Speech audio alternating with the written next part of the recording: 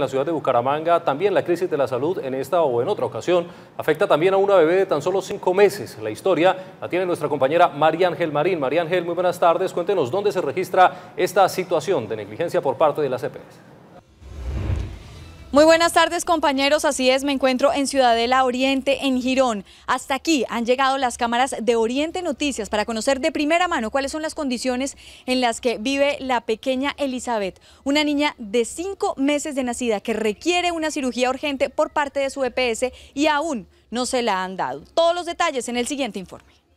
Todo empezó cuando el diagnóstico médico de la pequeña Elizabeth a los tres días de haber nacido arrojó una malformación de corazón que la dejaría en unidad de cuidados intensivos después de una larga batalla no me la querían trasladar, decían que no, que no habían camas en ninguna UCI.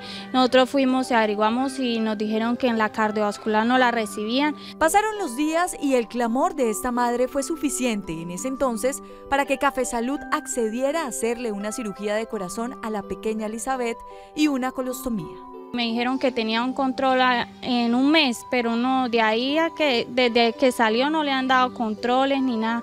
La cardiovascular informó a la familia de esta pequeña que Café Salud debe realizar el copago para que pueda ser atendida y su estado de salud no recaiga. Pero hasta el momento, entre tutelas y desacatos, Café Salud informa que la persona encargada se encuentra de vacaciones. Ella estuvo en ECMO, que es el aparato que le colocan a, las personas desahuciadas y el médico pues me dijo que lo más probable era que el corazón de la niña no, no aceptara que ese aparato pues tenía, pues le alargaba la vida, pero tampoco se podía jalar mucho tiempo. La lucha de Pilar y de esta bebé en medio de la crisis de salud en la que vive el país continúa.